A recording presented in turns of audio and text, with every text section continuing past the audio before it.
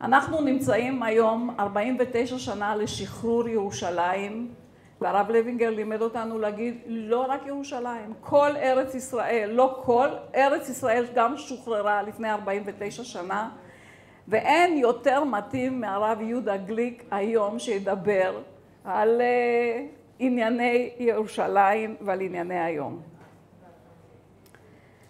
בימים אלה הרב יהודה הפך לחבר כנסת, הרב גליק הוא חבר בפורום למען הריבונות ודיבר למען הריבונות כבר בנאום הראשון שלו ואנו מאחלים לך הצלחה ופריצת דרך כמו שפרצת עד עכשיו ואת כל מה שעשית, את כל הפריצה הזאת של התודעה הארץ ישראלית ועולמית של הר הבית, של בית המקדש, בעזרת השם תצליח.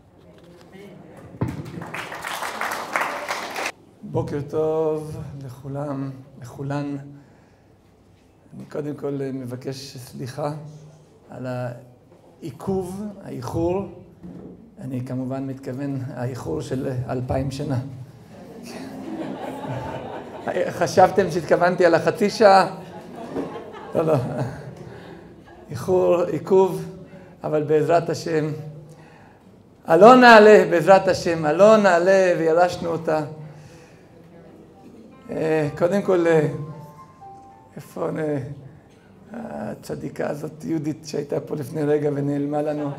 היא עסוקה בעשייה כל הזמן.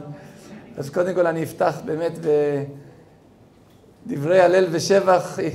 היא אמרה שאני איש של עשייה, אבל באמת אני קטונתי, אבל להשתדל ללכת ולהיות תלמיד של יהודית ונדיה ושל כל החבורה של יהודית ונדיה, ואתם באמת סמל ודוגמה של, קודם כל החברות ביניכם זה משהו שמעורר התפעלות והשתאות, אבל גם העשייה שלכם זה דגל לכולנו, לא להתייאש וכל הזמן ברוך השם לראות הצלחות. אבל קצת הצחיק אותי שאמרת שאני לא מחכה לניסים. באמת, ברוך השם, אני לא מחכה, אבל הניסים עוטפים אותי.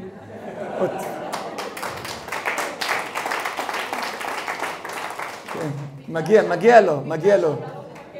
מגיע לו, לקדוש ברוך הוא. כל המחיאות כפיים האלה לקדוש ברוך הוא. האמת היא שכשראיתי בהתחלה ריבונות, הבנתי שכוונה ריבונו, ריבונו של עולם, קודם כל.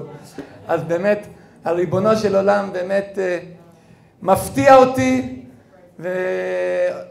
ומלווה אותי ומחבק אותי, אבל לא רק אותי, את כולנו, את כולנו. נדמה לי שכל יהודי צריך להתעורר כל בוקר.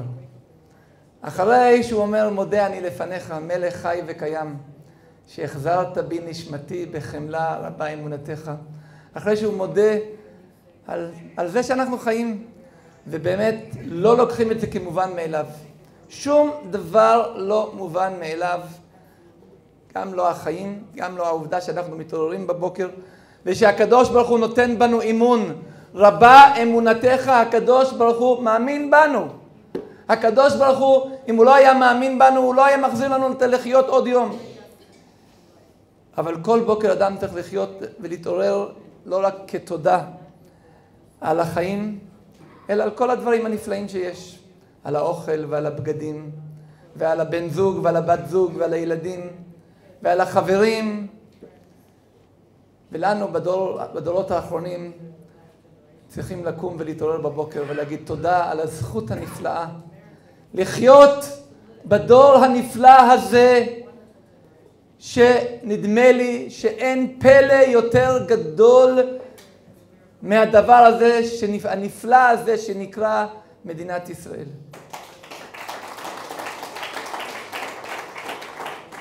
בהיסטוריה של האנושות לא היה דבר כזה.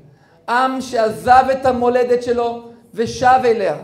ואני לא מדבר על אחרי אלפיים שנה, גם לא אחרי חמישים שנה. כל עם שעזב את המולדת שלו נעלם מעל פני האדמה. והנה זכינו ושבנו, והקדוש ברוך הוא קיים את הבטחתו בתורה, בשני הכיוונים. גם הוא קיים את הבטחתו והפיץ אתכם השם בכל העמים, והוא הפיץ אותנו בכל העמים, אבל גם את ההבטחה שהוא ישיב אותנו אם יהיה נידחך בקצה השמיים, משם יקבצך אדוני אלוהיך ומשם ייקחך והביאך. הקדוש ברוך הוא הביא אותנו לארץ הזאת. אבל, כמו שאמרה יהודית היקרה, הנס הנפלא הזה של לחזור לארץ ישראל, אמנם דמיינו במשך הגלות שזה יקרה ככה בפתע פתאום, מקדש ייפול משמיים, יבוא משיח, כל העולם יתמלא בנשרים שעל הכנפיים שלהם ייקחו אותנו לפה. אז לנשרים קוראים מטוסים, וברוך השם, כן, מי שחושב שזה לא פלא, שיקרא את הרמב"ם. כשהרמב"ם מתאר איזה דבר שהוא בלתי יכול, לא יכול לקרות דבר כזה. הוא מדבר על ספינה, ברזל, עפה באוויר. זה דוגמה של משהו שלא יכול להיות.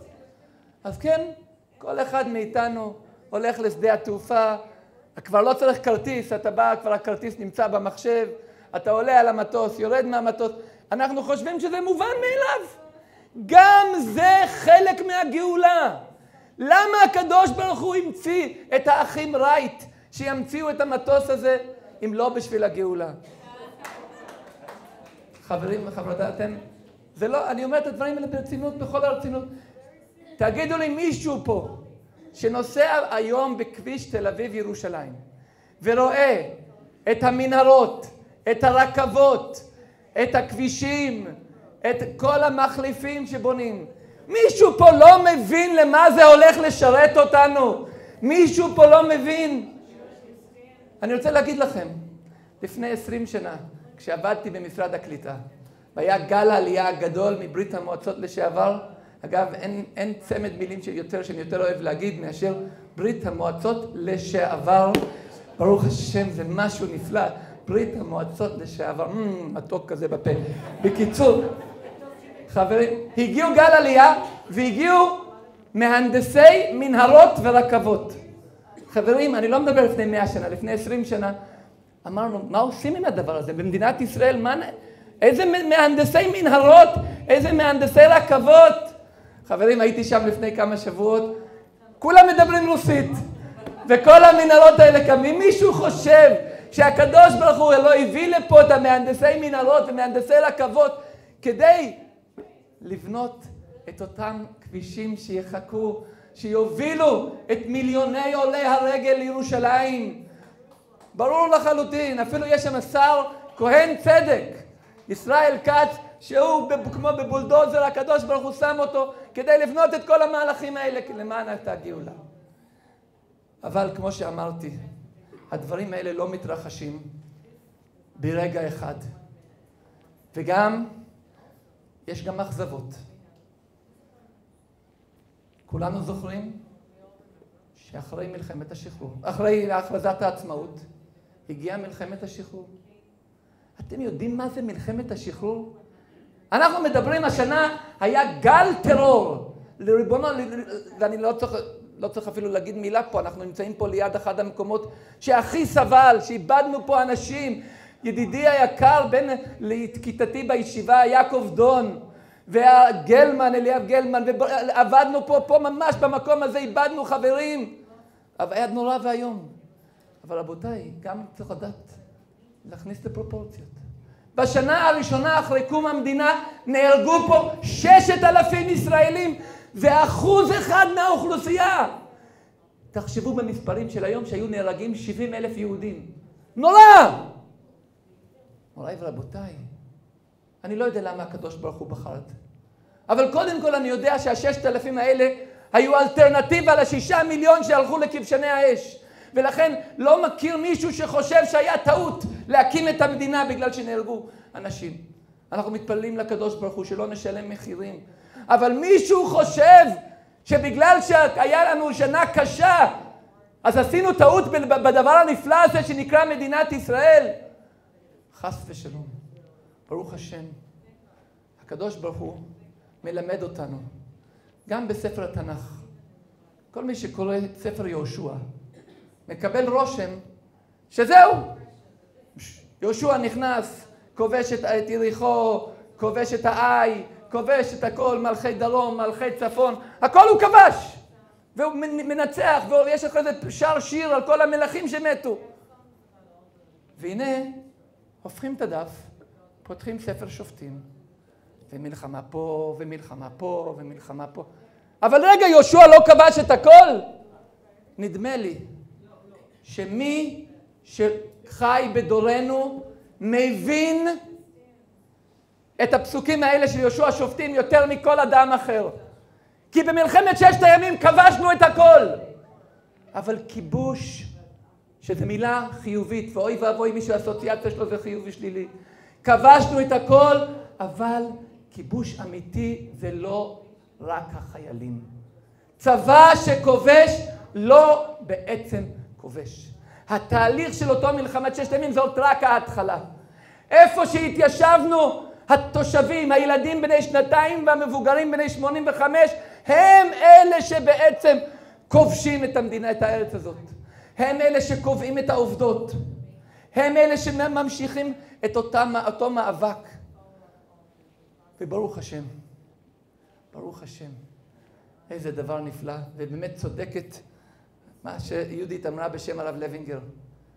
חברות וחברים, ששת הימים לא רק היה כיבוש ירושלים, אפילו זה לא רק היה ירושלים וחברון ויהודה ושומרון והגולן וסיני שלא עלינו, בינתיים ויתרנו עליו.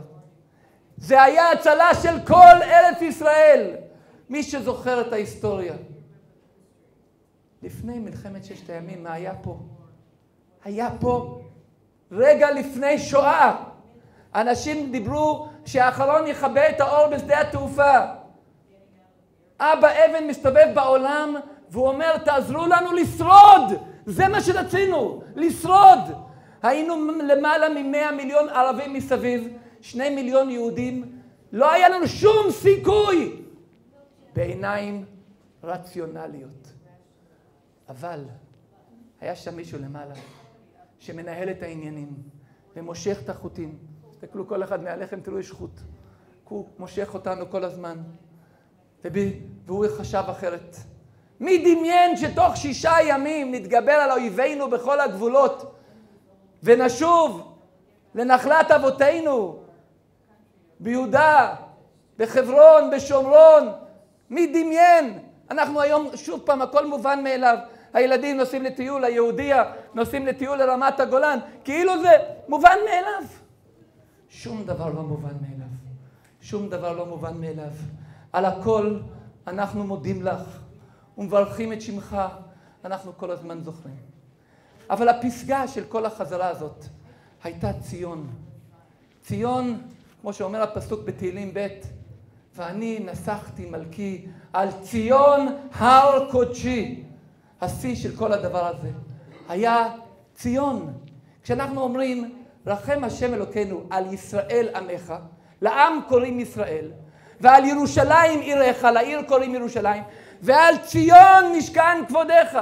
ציון הוא מקום המקדש. ועכשיו, הקדוש ברוך הוא הטיל עלינו כמה משימות. להשלים את מלחמת ששת הימים, בכל החזיתות. נדמה לי שכל מי שעיניו בראשו מבין שהפלסטינאים או הערבים או איך שירצו לקרוא להם, ממש לי לא מעניין איך יקראו להם. היו להם הזדמנויות לקבל מדינה פלסטינית, תודה רבה רבה. ברוך אתה אדוני אלוהינו, מלך העולם, שהכל נהיה בדברו.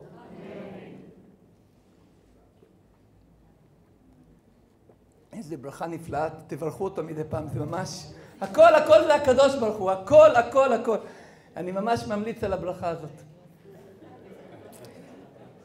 רבותיי ורבותיי, הפלסטינאים, הערבים, מה שתרצו לקרוא להם, היו להם הזדמנויות אין סוף. הם יכלו להסכים לתוכנית החלוקה, הם יכלו להסכים לכל התוכניות המסוכנות האחרות שהיו לנו, כל מיני ראשי ממשלה א', אהוד ואהוד וכל מיני ראשי ממשלה, הציעו להם הכל מכל כל. אבל מי שעיניו בראשו ורואה את החיילים האלה שפזורים ברחבי יהודה ושומרון, הילדים והמבוגרים, הנשים, הנשים, בירוק ובכחול ובוורוד ובצהוב ובלבן ובכחול, שמקיפים את הערים, מבין שלא יכולה לקום כבר מדינה פלסטינית.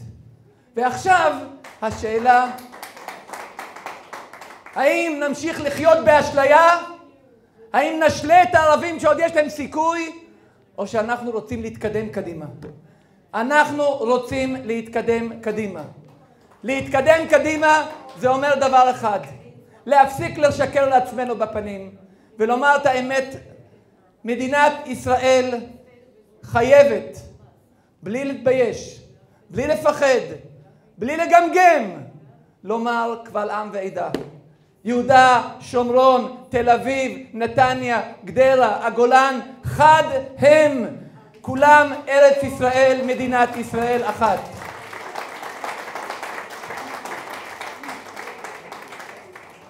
כפי שאמרה יהודית, אני אמרתי את זה בנאום הפתיחה שלי בכנסת, אני אעשה כל אשר לאל ידי.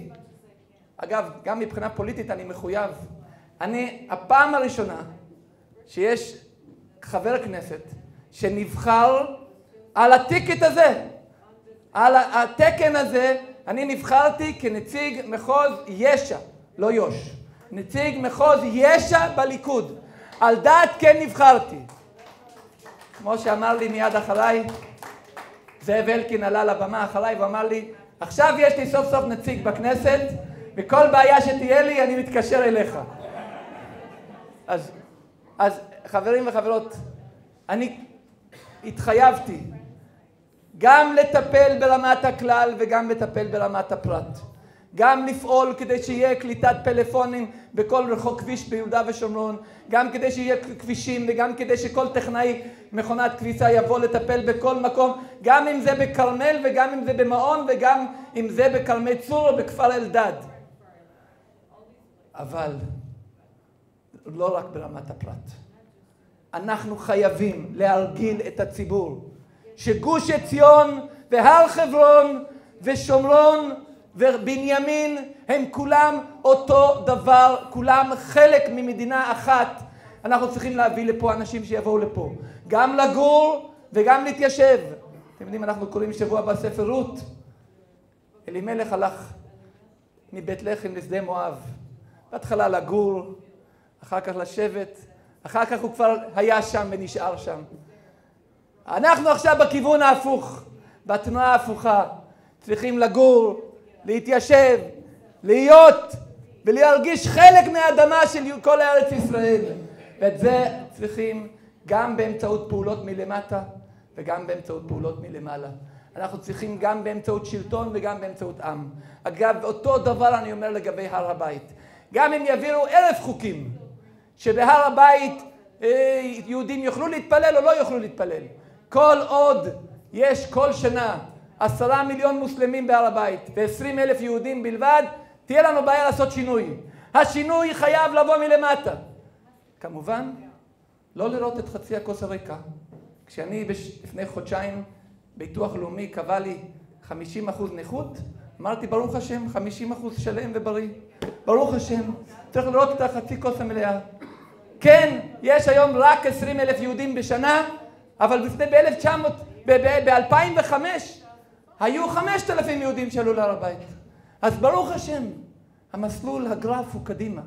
כל מי שמתבכיין פה על, ה, על המדינה פה, אתם יודעים, אתם יודעים, אני תמיד אומר שיש בעולם דומם, צומח, חי, מקטר. זה, אנשים אוהבים לקטר, וזה בריא וזה טוב, כי אם אנחנו לא נקטר, לא נשפר. כל הדמוקרטיה בנויה על זה, אם יש מילה שהוא אנטי דמוקרטי, זה המילה סטטוס קוו. נשאיר מה שהיה, ככה אוהבים אנשי שלטון, אנשי משטרה רוצים, תנו לנו כמו שהיה אתמול, בלי שינויים. אנחנו רוצים ככה, אותו דבר. דמוקרטיה אומרת שאם אתה רואה עוול, אתה דופק על השולחן. אתה אומר, עוול הזה לא יהיה. אתה גם לפעמים שובר את הרמקול. אתה דופק על השולחן. ואתה אומר, אני לא מוכן לשתוק לעוול. זה בדיוק אזרחות. מדברים על ספר אזרחות חדש, מה יהיה כתוב? אזרחות זה אומר שאתה לא מוכן לסבול שקר, אתה לא מוכן לסבול עוול, אתה לא מוכן לסבול שהר הבית הוא מרכז להסתה, ושכשומעים את המילה הר הבית מיד עומדים דום. ושמדינת ישראל נותנת לוואקף לבנות בניין עם 70 תאי שירותים, כי חלילה לא רוצים להרגיז. אז ברוך השם, השבוע ייאמר לזכותם של ארגון רגבים, של השר אורי אריאל, של ראש עיריית ירושלים ניר ברקת, שבאו לראש הממשלה ואמרו לו עד כאן, אי אפשר להמשיך לוותר כל הזמן כדי לא להרגיז, כדי לא להרגיז, כדי לא להרגיז. אז אני רוצה לומר, כמובן אני לא רוצה להזכיר את כולם, משכו את החוטים גם זאב אלקין ושלמה נאמן, העוזר הנאמן של שלמה נאמן, של אה, זאב אלקין, אבל בכל מקרה, הדברים האלה זה לדפוק על השולחן. אבל לדפוק על השולחן צריך מלמעלה, אבל גם מלמטה. צריך עוד אנשים ועוד אנשים ועוד אנשים. ואני אומר שמי שמקטר על המדינה הזאת, הוא באמת מרמה את עצמו. כי מי שמסתכל אחורה, ואני לא צריך להסתכל אחורה הרבה, אני במסגרת עבודתי גם הייתי מורה דרך, הייתי פוגש תיירים שהיו פה לפני עשר שנים. לפני עשר שנים. זה לא להאמין, אין מה להשוות. אתם יודעים מה? יש איזה משהו קטן שאולי אתם לא, חלקכם בטח לא שמעתם עליו. לפני עשר שנים לא, לא, לא, לא, לא היה, והיום אנחנו לא יכולים בלעדיו. שמעתם פעם, שמעתם פעם על אוי וייז, אה וייז? וייז? אוי, וייז! הווייז לא עובד! אני נאבקתי דום, אוי, וייז! בלי וייז, איך אפשר לחיות בלי וייז? היה וייז לפני עשר שנים? Waze הוא? לא היה דבר כזה. והנה אנחנו מתרגלים, מתרגלים. כל הזמן אנחנו מקבלים עוד דברים שעוזרים לנו, עוד מתנות שהקדוש ברוך הוא שולח לנו, ואנחנו שוכחים להודות, אבל מקטרים למה, למה ה-Waze לא עובד מספיק מהר, למה הוא, למה הוא לפעמים שולח אותנו למקום אחר והיינו רוצים להגיע... אז בהחלט, צריך Waze, אבל צריך עיניים פקוחות. כי בינתיים, אמנם אוטוטו מפתחים מכוניות ש... שלא צריך נהג. אגב, לפני שאני שוכח, ברוך אתה אדוני אלוהינו מלך העולם בורא נפשות רבות חסרנו מהכל מה שבראת לחיות בין נפש כוחי ברוך העולמים. שוב, זה לא בגלל שאני צדיק, זה פשוט הרבה פעמים שכחתי את הבורא נפשות, אז צריך uh, לזכור גם אותו. לא לשכוח, להודות לקדוש ברוך הוא באמת, על כל מה שבראת. בכל אופן, אני אומר, אנחנו יכולים לקטר ובלבד שאנחנו יודעים גם להודות. אנחנו יכולים לקטר ובליד שאנחנו יודעים גם לעשות. צריך לדעת, כן, לקטר זה אומר לראות עוול ולמחות עליו ולנסות לתקן אותו, אבל בעיקר לעשות ולפעול וגם לנג'ז לפוליטיקאים החדשים שבכנסת ולדרוש מהם לפעול ולהתלונן עליהם. אני הייתה, הייתה לי עשר שנים שבאמת התקשורת כל הזמן כתבה עליי דברים נחמדים, אמרתי להם זהו, עכשיו תתחילו לתקוף אותי ותתחילו לבקר אותי ובעזרת השם אני מקווה מאוד שנשתדל לעשות. אני מתפלל לקדוש ברוך הוא. אמרתי לו, ריבונו של עולם, אני הרי נכנסתי לפוליטיקה, הבטחתי לאשתי שאין שום סיכוי שבעולם, בשום קונסטלציה, שאני אגיע לכנסת. אל דאגה. איך אתם עושים? איך כתוב בפרק? יושב בשמיים משחק, אדוני ילעג למו. הוא צוחק עלינו. מה אתם חושבים שבסקרים של הליכוד כתוב 22 אז אי אפשר להכניס את 33? הוא יכול גם את זה. בכל אופן, אני אמרתי לקדוש ברוך הוא, ריבונו של עולם, אתה יודע שאני לא היה לי שום תוכניות בחיים להיות שם איפה שאני נמצא עכשיו. אתה זרקת אותי לשם, אין ברירה, אתה צריך ללוות אותי. אבל האמת היא שסך הכל הוא עמד יפה באתגרים שהאמנתי לו בשנים האחרונות. וברוך השם, אה, הוא הוכיח את עצמו מעל ומעבר, ואני מאוד מאוד מקווה שאני אה, אשתדל ואסעה ואקדם את הנושא הזה, שבראש ובראשונה לעשות את השינוי בתודעה. ואני רוצה לומר לכם לדוגמה, מה קרה? איך קרה שלמשל נושא כמו מדינה פלסטינאית, שפעם היה דעת קיצון, עבר לאמצע. איך זה קרה? אז אני אספר לכם סיפור, פשוט מאוד. אנשי השמאל, תומכי מדינה פלסטינאית לפני 25 שנה, החליטו החלטה אסטרטגית מוחלטת. התוכנית הייתה כזאת, מתקשרים לראיין אותך ברדיו, ולא משנה על מה, רוצים לראיין אותך על מחיר התה בסין. אז אתה אומר, שלום אדוני, מה דעתך על מחיר התה בסין שהוא כל כך אה, למטה? אז אתה מתחיל את התשובה ככה.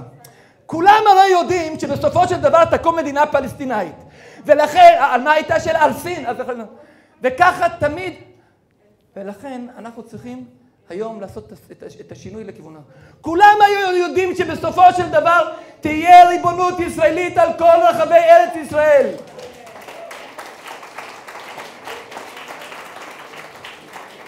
עכשיו, מה הייתה השאלה? אה, אוקיי. וזה בדיוק ככה אנחנו צריכים.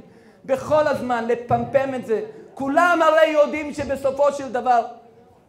כי אני לאחרונה פגשתי כמה דברים וגיליתי לתדהמתי. הייתי, השתתפתי בעימות, יש ערוץ אורות, אה, ynet אורות, יש תוכנית הרב והפרופסור.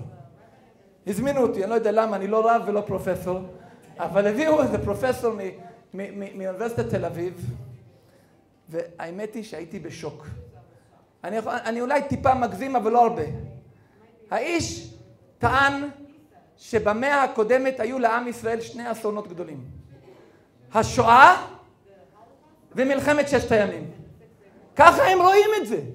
הנה אפילו תראו מה קרה, נבנו 400 אלף יהודים גרים בכל רחבי יהודה ושומרון ואי אפשר להקים מדינה פלסטינית. והם חיים בתודעה כזאת. ואנחנו צריכים להאיר פנים ולהגיד רבותיי, איזה דבר נפלא זה חיים חצי מיליון יהודים בנחלת אבותינו. ברוך השם. חוץ מירושלים. ברוך השם, כמיליון יהודים חיים בירושלים. חברים וחברות, ברור מאליו שאין דבר נפלא מזה. ואנחנו צריכים להבהיר ולומר שהשלום מתחיל בהר הבית, השלום מתחיל בבית, והשלום מתחיל בזה שבנייה והתקדמות מקדמת אותנו. ואני מרחם על אותם פלסטינאים שעדיין חיים בדהיישה במחנה פליטים, כי שכנעו אותם שאו-טו-טו. ותראו איזה מדינה יפה אנחנו בנינו ואיך שהם המנהיגים שלהם השלו אותם והם עדיין תקועים שם. בואו נגיד לכולם, אנחנו באנו להביא אור טוב לעולם, להביא ברכה לעולם, והברכה תהיה כשעם ישראל ישוב ויבנה באופן חופשי בכל רחבי ארץ ישראל, כחלק ממדינת ישראל השלמה. ואנחנו עוד נאמר להם, רבותיי, גם עלייה להר הבית תביא אור וטוב וברכה לעולם.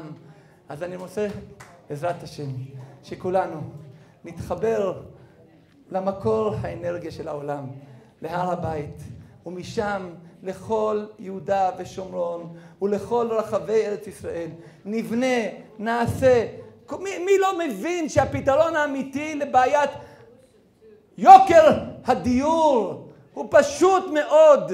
יש פה מישהו שלא מבין כמה פשוט לפתור את הבעיה הזאת. תנו אישור לבנות באופן חופשי. תהיה לכם פה את עיר גוש עציון אפרת, תהיה בשבוע אחד יהיה, יהיה, יהיה פה שכונות על גבי שכונות. מי לא מבין שאנחנו הולכים לקראת זה? וברוך השם בזכות אותם מוסרי נפש. בכל מקום ומקום. כל יישוב שהיום גרים בו אלף משפחות, היה פעם עשרה קרוונים, ואישה שחיה תקופה אולי בלי מכונת כביסה שבועיים וחודשיים, וכל יישוב ויישוב, וכל היישוב היהודי בחברון הוא בזכות אותם נשים שהתמקמו להם בבית הדסה, ולפני כן בזכות אותם אנשים שבאו למלון פארק, וכל מקום ומקום קיים בזכות אותם אנשים שמסרו את הנפש, ואנשים אמרו להם אתם משוגעים, לאן אתם הולכים? אגב, גם לפני 150 שנה אמרו לאותם אנשים, אתם משוגעים להקים מדינה לעם היהודי? מה קרה לכם? זה לא ריאלי. אגב, ב-1800, מתי זה היה? בקונגרס השישי, 1903 זה היה, הקונגרס השישי, שבו עומד שם הרצל ומסביר, חברים, למען עם ישראל, בואו נעבור לאוגנדה, חייבים תוכנית מדינית, יש אינתיפאדת קישינב. אתם זוכרים את זה? חייבים! והוא בוכה שם, אגב, הוא מיד אחרי זה נהיה חולה ונפטר, כי לא קיבלו את התוכנית המדינית שלו. ואין, וכשמשכנעים אותנו בכל מיני תוכניות מדיניות שאין ברירה אחרת. אבל עם ישראל, אגב, היה בקונגרס של אוגנדה, היה רוב למען אוגנדה. 275, 295 צירים היו בעד אוגנדה, 178 היו בעד ארץ ישראל. אבל אז קמו אותם, אותה נקודה יהודית שצועקת ואומר, לא יכול להיות אוגנדה, אנחנו ציוני ציון! אז היום יש לנו גם ציוני ציון, שלא ימכרו לנו תוכנית של מדינת אוגנדה, מדינה פלסטינית, אותו דבר, ולא ימצאו לנו תחליפים. אנחנו רוצים את הדבר האמיתי, את ארץ נחלת אבותינו, את ציון הר קודשנו. חברים וחברות, חיילים וחיילות, זה הכל אנחנו, זה בידינו. הר הבית בידינו, נחלת אבותינו בידינו. מה שאנחנו עוד נבנה ונעשה, זה בידינו. שיהיה לכולנו חג ירושלים שמח, רק אור וטוב לכולם. תודה רבה. שואל יוסף, האם אני אפעל לעודד גיוס לצבא לחרדים? ואני רוצה לומר ככה, יוסף, יש לי שני בנים שהם כרגע חיילים, אחד בקורס מ"כים ואחד אה, בשלב מתקדם בקבע לתחום המודיעין. ויש לי חתן שיושב ולומד תורה, ויש לי ברכה בשניהם, ואני מעריך ומעריץ את שניהם. אני לא חושב שכולנו צריכים להיות אותו דבר. כן פעלתי השבוע במסגרת ועדת הרווחה לעודד חוק שירות אזרחי. כלומר, שאין שום סיבה שחרדי שלא לומד תורה לא ילך ויתנדב ביד שרה או בזק"א או בפנים לפנים או... אין סיבה שאנשים לא ילמדו לתת. אין סיבה שאנשים לא יתחנכו. וגם ערבים חיים, ב, ב, ב, ב, לא רוצים להתגייס לצבא, בבקשה תשקיעו שנה, שנתיים, תרומה לקהילה שלכם. אז בעניין הזה אני מאוד מסכים, שכולנו צריכים להתחנך, לתת לקהילה, לעשות למען, למען הקהילה. שנייה, שנייה. האם כולנו צריכים להיות חיילים? אני אומר שוב, אנחנו צריכים להעריך ולהודות ולנשק רגליים וידיים של כל חייל וחייל, וכל חיילת וחיילת. ואנחנו צריכים גם לחזק את כבוד לומדי התורה. נדמה לי שגם אותם, אנחנו לא צריכים לדבר נגד אנשים. התשובה שלי היא שכולנו צריכים לתת, היא כמו שהבת שלי הלכה לשירות לאומי, ואגב יש לי גם בן שהוא לא יכול היה לשרת בצבא ויש לו בעיה לבבית, הוא עושה השנה שנת שירות לאומי. אז גם יהודי שלומד תורה יכול לשרת, וגם יכול לשרת, לא חייב להיות בצבא, יכול להיות בשירות אזרחי. אני אומר כן לחזק את חיילינו, אני אומר כן לחזק את כולנו שניתן למדינה, ואני אומר שגם לחזק את לומדי התורה. אני חושב שחיים פה יהודים וחיים פה ערבים. אה, עם ישראל מצווה לנהוג בצורה מכובדת ולאהוב את הגר. יחד עם זאת, אנחנו רוצים שהמדינה הזאת תהיה יהודית. ולכן אני חושב שמדינת ישראל צריכה לפתח איזשהו מסלול שכל משפחה ערבית שרוצה להגר למדינה אחרת ויש לה רק המחסום היחיד שיש הוא מחסום כלכלי שאנחנו צריכים בהחלט לדאוג לעידוד העניין הזה. יחד עם זאת, מי שחושב שאנחנו נצליח לעודד חמישה מיליון ערבים שגרים בכל יהודה, שומרון, ישראל, עזה, לעזוב אותנו, אולי כן, אני לא מאמין. נדמה לי שאנחנו צריכים לעבוד בו זמנית בכמה מסלולים. כן, למצוא דרכים לעודד את אלה שרוצים לעבור מפה, והמחסום היחיד הוא כלכלי, למצוא דרך לסייע בידם. כן למצוא דרך שאלה שרוצים להישאר פה ידעו שאופציית האלימות והטרור לא קיימת, אופציית הנאמנות היא היחידה שקיימת, ומי שלא מבין את זה, עם ישראל יעמוד חזק ויילחם גם נגד זה. אני אגיד לכם שאמרתי שביקרתי מתוך סקרנות בבית כנסת רפורמי. אני גם בתור סקרנות ביקרתי במסגד. האם זה אומר שיש בליכוד עכשיו גם נציג מוסלמי? תראו, אני אה, תלמידו של מורי ורבי, מורנו ורבנו הרב קוק. אני מעדיף לחטוא באהבת ישראל מוגזמת מאשר לחטוא בשנאה. אני חושב, שוב, אני אומר דתי, מותר לחלוק עליי, שהגדרת הרפורמים כמחוץ לתחום, שמי ש... כשאמרתי שביקרתי במסגד לא קיבלתי כל כך הרבה תלונות כמו שאמרתי שהלכתי לבקר בית כנסת רפורמי מתוך סקרנות. בית כנסת רפורמי לדעתי זה לא עבודה זרה. הם טועים, אני חושב שהם טועים ובגדול. אני מחויב לתורה ולהלכה כפי שמבין אותה, אני לא אוהב את המילה אורתודוקסי, כפי שאני לומד אותה כמו, של, כמו שלמד אותו הרמב"ם וכמו שלמדתי מרבותיי גם בטלסטון וגם אצל הרב שטיינזרץ, אצל הרב שגר והרב פרומן וגם אצל הרב, הרב ליכטנשטיין והרב עמיטל והרב ראם הכהן והרב ישראל אריאל. אני מחויב להלכה מחויבות מלאה, ולכן אני חושב שהרפורמים טועים. אבל אני גם נפגש עם מחללי שבת, אני נפגש עם אוכלי טרפות. האם בגלל זה אני צריך להוציא אותם מחוץ לתחום ולא ללכת לבית שלהם? האם אנחנו לא צריכים לחבק אותם? האם אנחנו לא צריכים... האם אני מותר לי להיפגש עם אנשי מרץ שעבורם עמוס עוז הוא המנהיג הרוחני ואסור לי לשבת עם יהודים רפורמים שחושבים שהרבה הרפורמית היא המנהיגה הרוחנית שלה? אני חושב שהם טועים.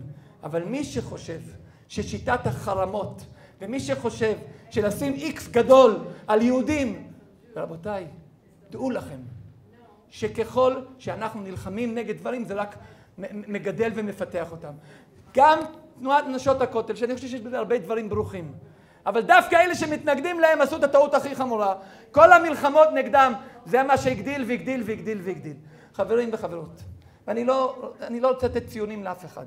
כל אחד עומד מול הקדוש ברוך הוא, הקדוש ברוך הוא יודע עד כמה הוא רוצה, עד כמה הוא מכוון לעבודת השם. אבל אני לא חושב שאנחנו צריכים להגיד שכרפורמים זה אנשים שחורים, עובדי עבודה זרה, מחוץ לתחום, ושאסור להתייחס אליהם. אני מתנגד לזה. אם מישהו חושב אחרת, זו זכותו, זאת דעתי, ואני חושב שאפילו לא יקרה שום דבר רע עם רבני ישראל, הרבנות הראשית, גם תיפגש עם רבנים רפורמיים ותגיד להם, אנחנו לא מסכימים איתכם. כי אם אתה מחרים אנשים, אתה לא מקדם שום דבר, ואם אתה מחבק אנשים ומקשיב, וכדאי שכולנו נפתח קצת את הקשב, להקשיב, לדבר, וגם אם אני לא מסכים, זה לא אומר שאתה עוכר ישראל. ונדמה לי, ונדמה לי שבעניין הזה, מי שבטוח בעצמו לא צריך לפחד מאנשים אחרים. מי שמפחד מאחרים, סימן שיש לו בעיה עם הביטחון העצמי שלו. גברתי, אני אומר את זה ואמרתי את זה פומבית. אנחנו יכולים להיות במחלוקת ולא במחלוקת. אני מאוד מאוד הערכתי את uh, בוגי יעלון, ואני חושב שהוא עשה הרבה דברים לעם ישראל, חייב לו הרבה. יכול להיות שהוא לא עשה את כל מה שרציתי שהוא יעשה. אני מאוד מאוד מאוד מצטער שהוא עזב אותנו, מאוד מצטער שהוא עזב בטריקת דלת. זה א', ב', לא הייתה לנו, לראש הממשלה, ברירה אחרת, ואני רוצה להסביר בשני מילים. המושב האחרון של הכנסת, הקואליציה לא תפקדה, כי היו שני ח"כים שהיה להם משהו מאוד עקרוני, ואני לא נכנס לדון אם צדקו או לא צדקו. הם ניצלו שהיו 61 ח"כים, הם החליטו שהם יתפסו את ראש הממשלה, לא רוצה להגיד לכם איפה, והם יכריחו אותו לעשות משהו.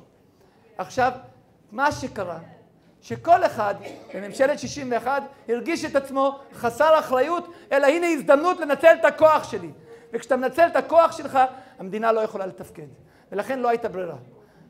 ראש הממשלה הבין שליברמן, התנאי היחיד שלו היה להיות שר ביטחון. עכשיו תראו, אני לא מוכן לקבל את זה שאיווט ליברמן הוא לא מסוגל להיות שר ביטחון.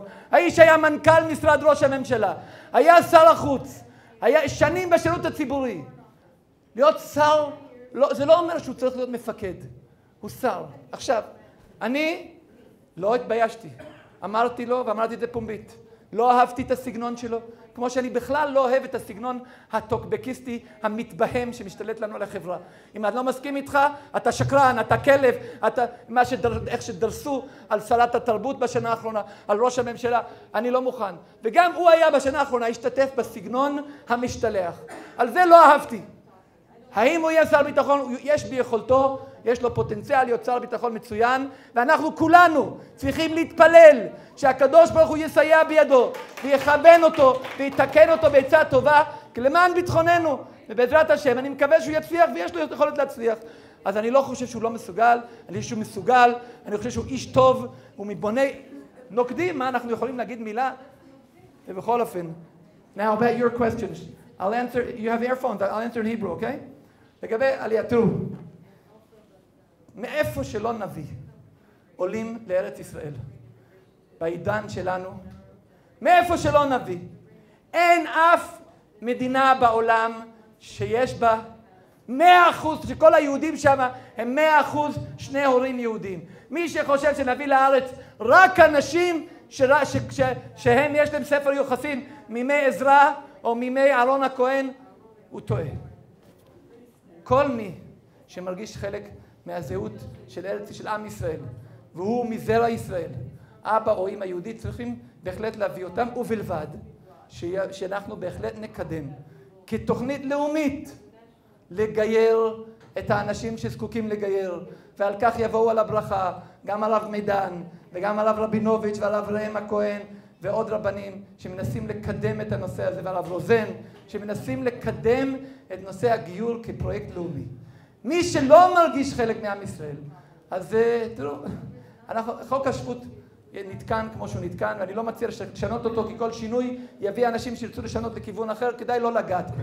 כן כדאי לעודד עליית יהודים, ולדעת שאין, הקדוש ברוך הוא גלגל את זה ככה, שאין קהילה יהודית שהיא טהורה על טהרת היהדות, גל ההתבוללות בכל רחבי העולם הוא גדול, אנחנו צריכים לעודד עלייה, אנחנו צריכים לעודד את כל היהודים לבוא לארץ ישראל, לשוב הביתה, כי זאת ארצנו וזה היעד וזה מה שיקרה בסופו של דבר. אני מברך את כולכם. תודה רבה. אמרתי לכם שצריך להגיד תודה ותודה ותודה ותודה. אני מחויב להודות, כי לא מובן מאליו שאני עומד על הרגליים, וחוץ מצוותי הרפואה של שערי צדק והדסה ומגן דוד אדום והצלה, יותר מכל הרגשתי חיבוק ענק וגדול מכל רחבי עם ישראל בארץ ובעולם על התפילות, ואני מאמין גדול בתפילות. תודה רבה לכל אחד ואחד שהיה פה, שהתפלל לשלומי ולרפואתי, ובזכותכם אני כאן.